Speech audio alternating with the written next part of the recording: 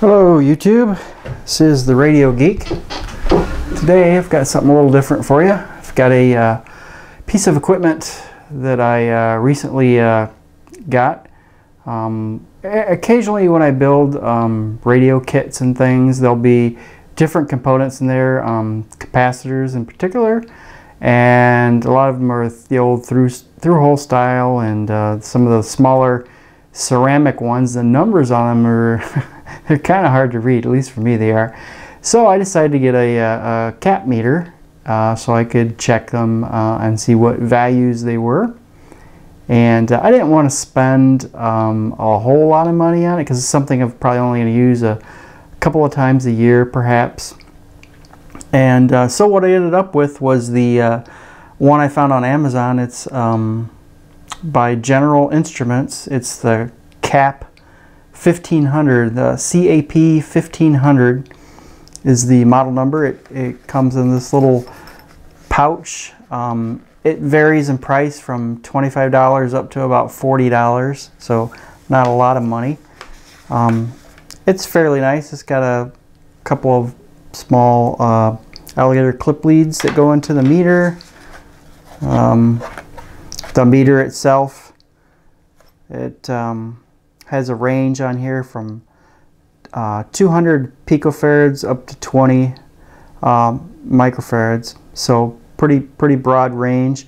You got a, a dial here for zeroing out uh, the display, which is probably useful when you're trying to measure uh, smaller valued capacitors like in the picofarad range.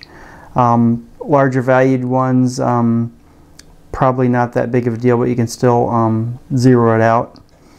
Um, it's a pretty good meter. I mean, it does the job. Uh, one complaint, I guess I would say, is there are right here where the meter plugs in, just above that, there's two little, um, I guess like spring style um, connectors that you can poke a capacitor in. Like if I wanted to uh, check one of these guys here, I could, um, instead of using the clip leads, I could just poke these uh, leads in there and, and measure it that way. The problem is that these spring clips are so tightly mashed together you can't get anything in there. So if you get one of these you're probably going to have to get a, a pocket knife or something, a little file and stick it in there and just kind of twist it back and forth and spread those spread those apart just a little bit so that you can get the lead in there. Otherwise you try to push something in there and it just gets all bent up. So I guess that's really the only uh, real complaint about that. Um, we'll see here. I'll just turn it on, and um, we'll we'll see here. Like uh, for instance, I've got one here that um, oh, it looks like it should be about 150 picofarads. And if you're not sure what what it is, you can always start off at the higher range and and dial it back down. One important thing to do is um, not so much with these ceramic ones, but with electrolytics. Um, capacitors can possibly have a charge on them. You'd probably want to make sure that you short the leads together to make sure that there's no potential there on there before you um, check it with your meter. Otherwise, you might do some damage to the meter if there's a high enough voltage there. So let me see if I can get this guy in here. And we're up to the uh, 200 microfarad range, which is too high. So let's turn it down to the 2000 picofarad range, and it's supposed to be 150, and it looks like it uh, checks out here at 142 picofarads. So that's that's pretty close. Um, I've got one here. It's supposed to be 220 picofarads. So we'll try this one and it's 213 here I'll I'll bring it in a little closer so you can you can see what we're seeing here and then there's the range that I'm using and so that's uh, that's pretty much what it does um, you can also as an option you can use these test leads that are they're fairly short and that's important when you're um, measuring uh, capacitance because these leads will add capacitance um, to your measurement. Um, it's pretty much hovering around the zero range right now. I can kind of dial that in a little bit here. So now it's pretty much zeroed. And that in there. Actually, let me see if I can just move the camera in a little bit further.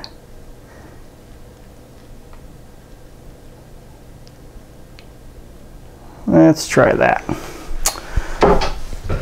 So you can see that it's pretty much zeroed in and I could take that um, same cap and I could just use these clip leads and and do the same thing. So you don't necessarily have to use those spring clips, but they are there and it's kind of nice to have them. But uh, we're getting 168 there on that particular one.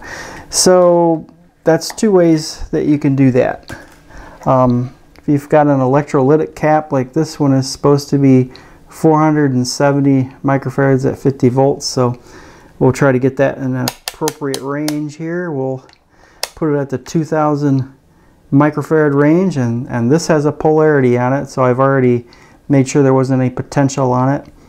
And so you have to observe the polarity and making sure that you get the positive and the negative correct and it's supposed to be 450 and it looks like it's mm, 489 490 so this just uh, gives you a rough indication of um, you know if the capacitor is any good if it's uh, the right one if you're building a kit you know make sure you get the right one. Um, like I say this is an inexpensive meter. It was you know $25 $30 um, I do have access to a more expensive uh, cap meter and it's an Agilent 1701B and it sells between $165 and $215 so you can see there's quite a difference in price range between these two particular meters. And what I did was I, I took some capacitors and I, I, I read them on the Agilent which is the $165 or $215 meter versus the general uh, instrument cap meter, the CAP 1500, which is between $25 and $40 on Amazon.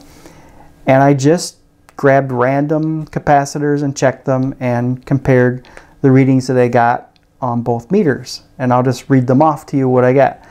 Uh, I was checking a 47 microfarad capacitor. The Agilent said it was 47.5 microfarads.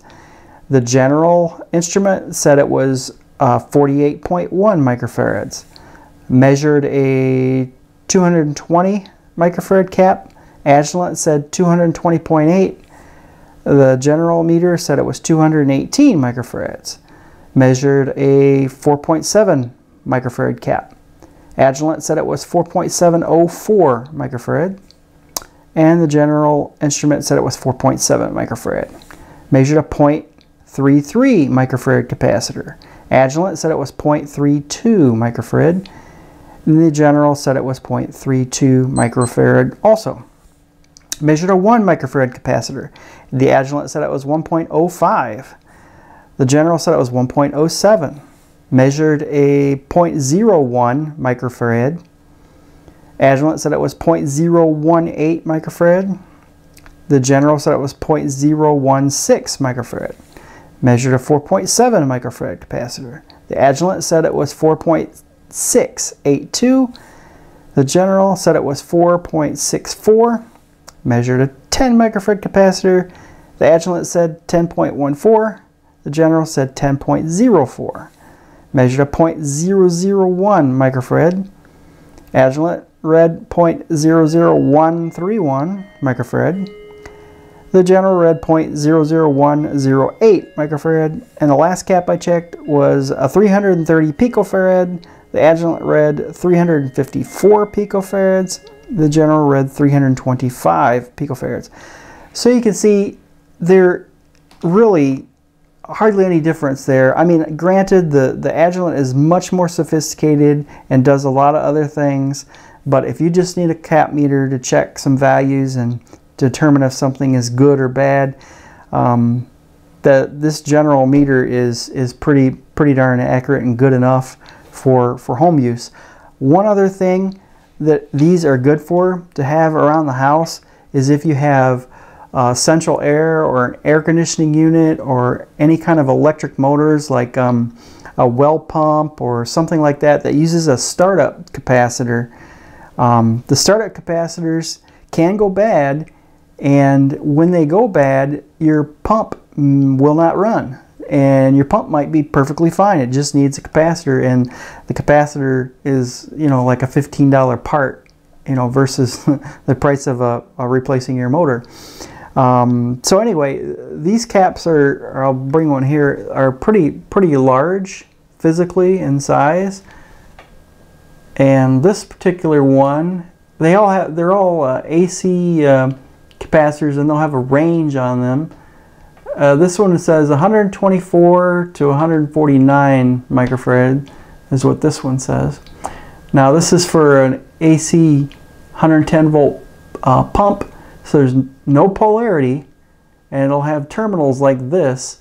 Um, some of them have a resistor soldered between the two um, connectors, no polarity, but if the resistor is there, that's a bleeder resistor and basically when this is not in the circuit to help the pump get started, that resistor will bleed off any potential, any voltage that's on there.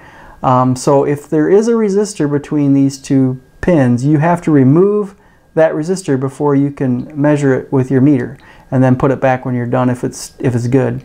Um, a lot of them don't have resistors across there. This one does not.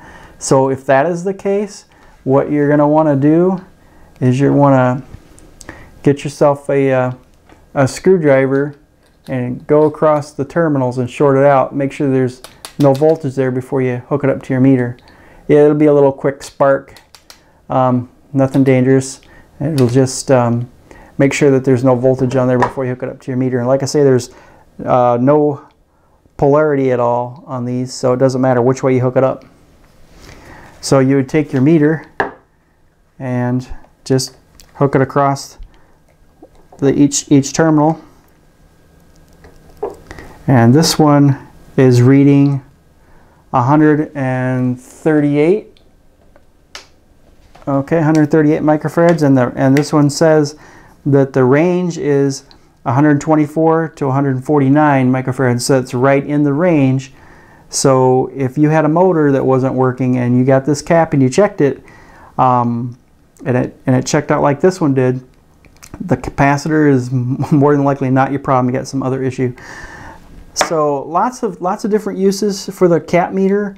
Um, I use it mainly for electronic kit building and it's come in pretty handy a few times when it was hard to read some of the numbers on them. Um, like I say, it's a pretty nice unit. You can get them on Amazon. It's uh, General Instruments and it's the CAP 1500, the CAP 1500. And um, it's a nice uh, cap meter, so if you're in the market for one and you don't want to spend a lot of money, it's a pretty good value. So uh, until next time, this is The Radio Geek.